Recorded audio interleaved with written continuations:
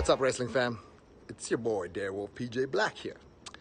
Quick reminder December 29th, I am coming to town. What town?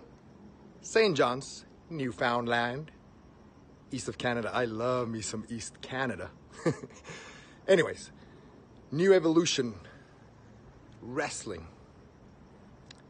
It's their three year anniversary event, I believe, and uh, I've had my eye on this promotion for quite a while. Some fantastic talent, some uh, great up and comers, some well established stars, and I'm looking for some competition. December 29th. Put that in your diary. I believe it's a two day event, but I'll be there on the 29th. Flights have been booked, papers have been signed. So if you're in town or around, I urge you to get your tickets early because if I'm coming to town, it's probably going to sell out. So get your tickets now.